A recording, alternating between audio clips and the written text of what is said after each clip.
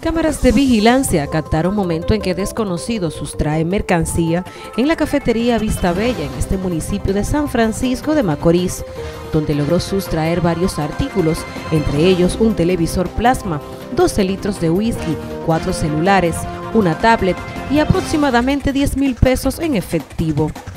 El hecho ocurrió aproximadamente a las 5 de la mañana, según afirmación de su propietario, donde afirma el antisocial rompió la puerta y penetró a su negocio.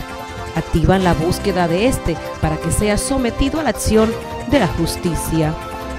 Para NTN, su noticiero regional, Joanny Paulino.